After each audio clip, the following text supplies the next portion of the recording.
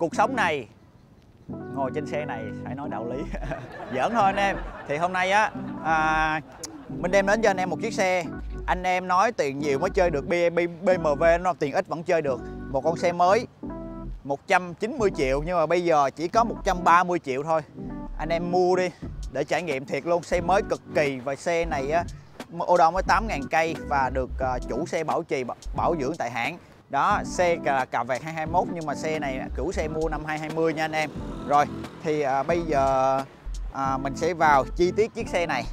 Và cho anh em ngắm xe để anh em mua cái mua xe này ha. Đó thì à, làm lẹ lẹ đi trời mưa.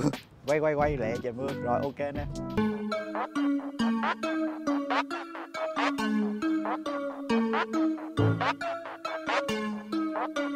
Rồi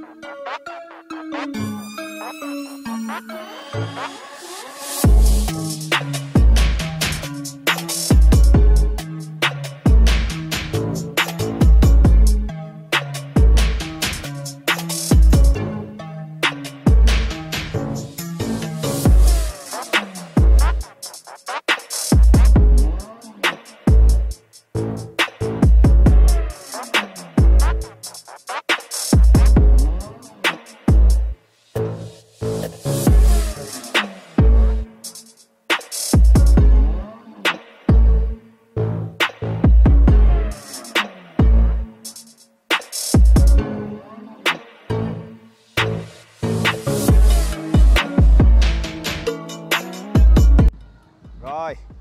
Anh em à, xem hết clip chưa?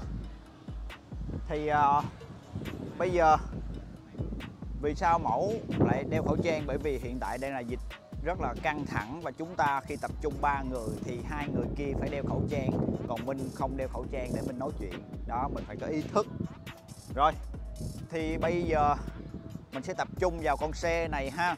Thì con xe này là con BMW 310R Giá bán mới của nó là gần 200 triệu. Nhưng mà đây, Anh em khi mua xe này thì anh em sẽ làm việc trực tiếp với chủ xe luôn. Chủ xe đã để lại một cái giá rất là hợp lý luôn. Tiền ít nhưng vẫn chơi được BMW Chỉ có 130 triệu và xe này còn bảo hành chính hãng tại BMW luôn. Xe 220 cà vạt 221 nha anh em. Đó. Là chủ xe mua lúc 220 đó anh em. Thì à, anh em khi mua xe này sẽ làm việc trực tiếp với chủ xe và mình không có ăn một cắt nào từ cái con xe này nha anh em. Đó, thì mình chỉ kiếm được cái xe đẹp về để quay cho anh em coi.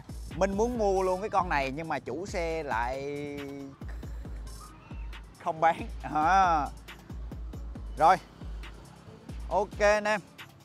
Thì bây giờ mình sẽ nói vào cái vấn đề nào ta? Thì con này là nó ra để nó cạnh tranh trực tiếp với lại những dòng 300 phân khối á. Nhưng mà nó mắc nhất luôn, tại vì sao? Nó là xe đức bởi vì nó là xe đức từ xe hơi tới xe máy xe đức đều mắc hơn. Và vì sao nó mắc? Thì cái chất lượng của nó thì khỏi phải bàn xe đức thì anh em khỏi phải bàn. À, đầu tiên em sẽ nói là con này là là là nó là 31 4 mã lực 34 mã lực ha. À, rồi cái gì nữa? Về cái à, bình xăng của nó là 11 lít là anh em con này đi cực kỳ tiết kiệm xăng. Con này đi cực kỳ tiết kiệm xăng luôn anh em quay qua bình xăng cho anh em xem phải nói là cực kỳ tiết kiệm xăng luôn. À, một máy thì tiết kiệm xăng.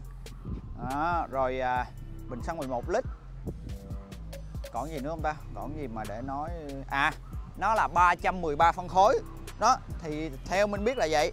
Thì à, phuộc nè phuộc upside down của nó rất là gọi là rất là đẹp. Nhìn kỹ đi anh em.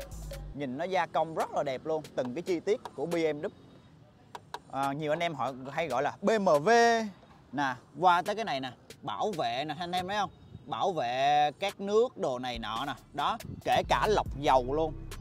Cũng có bảo vệ, anh em thấy kỹ chưa? Kể cả lọc dầu vẫn có bảo vệ. Và con xe này khá mới mới chỉ đi 8.900 cây. Nhìn cái chất xe là anh em biết rồi. Vỏ nè anh em, nãy giờ trời mưa á, dạo này trời hơi mưa nhiều.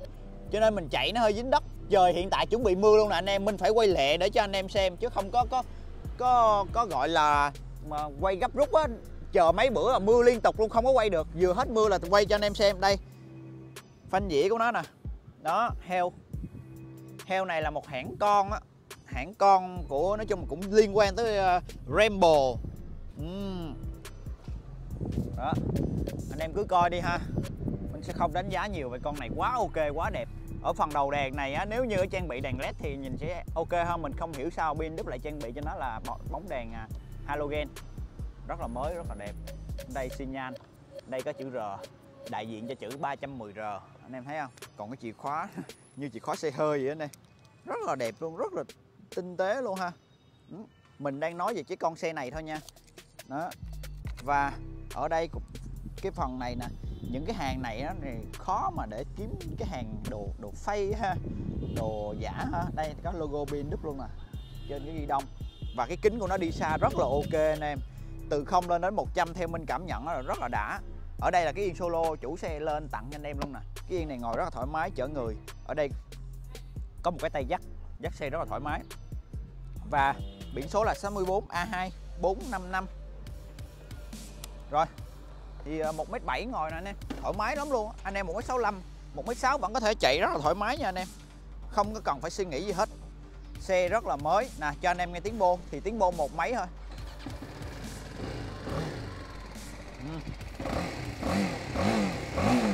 Cây bô nó bự hơn em ha? Ý là cây bô á cái uh, diện tích cây bô rất là to. Rồi quay đồng hồ cho anh em xem. Cho anh em ngắm một cái phần à, bàn thờ. Đó thì ABS thì đương nhiên những đời này phải có rồi. Báo xăng báo số. Đó anh em coi đi, rồi anh em đánh giá. Báo xăng, báo số đầy đủ luôn anh em. Sắp mưa rồi anh em anh em thấy trời em mua không? Sắp mưa rồi. Nên ờ, nói nó hơi nhanh đó anh em. Mình chờ 3 ngày rồi, con xe nằm 3 ngày rồi, mưa quá cho nên không có quay clip được cho anh em xem. Ừ. Một cái số chia sẻ kinh ờ, cái trải nghiệm khi mà mình đã chạy con này thì mình thấy là gì nè? Nó khác biệt CB300 nó khác biệt những dòng một máy khác và khác biệt luôn, những dòng hai máy 300 như Z300 lên á, chạy anh em chạy cỡ 7 80 á, lên CB300 có độ rung đúng không? Nhưng mà con này nó êm lắm, nó êm cực kỳ. Nói chung là tiền nào của đó xe CB300 hiện tại giờ có 110 mấy 120 triệu xe mới à. Con này tới 190 triệu thì đương nhiên nó sẽ ngon hơn.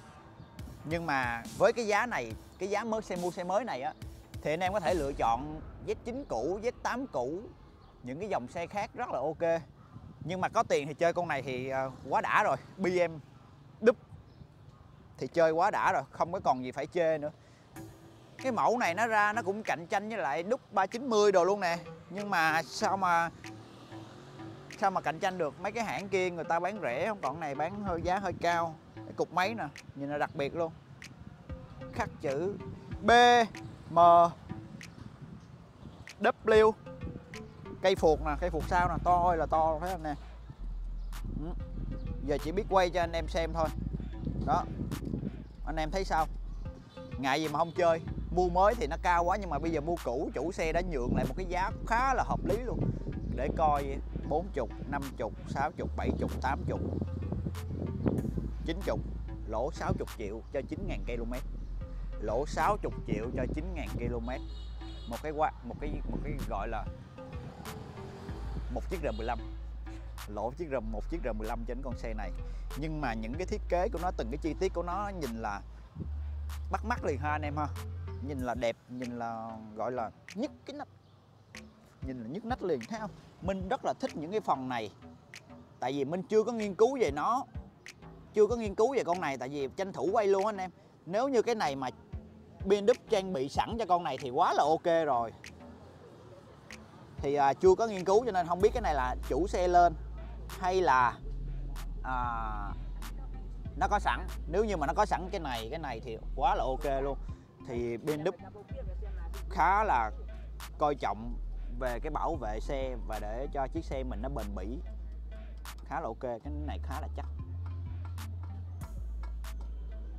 Thì mình leo lên con xe này chỉ có thời gian chạy thôi. Nói chung là mình đi mua đồ mình cầm nó mình chạy thử mình chạy cảm nhận thì nó êm lên cỡ 80 nó êm. Nhưng mà ganti nó hơi uh, hơi thấp so với uh, con Z3 đó. thì nó êm ru à. Bảo trì bảo dưỡng của nó cũng dễ lắm đơn giản lắm. Mấy con 300 phân khối này anh em khỏi cần lăn tăng đâu. Bảo trì bảo dưỡng đơn giản. Và con xe này có bill bảo trì bảo dưỡng tại hãng luôn nha anh em. Chủ người ta kỹ lắm. À, người ta bảo trì bảo hạn bảo trì bảo dưỡng tại BMW luôn. Tại mình đã coi những cái bill đó hết rồi.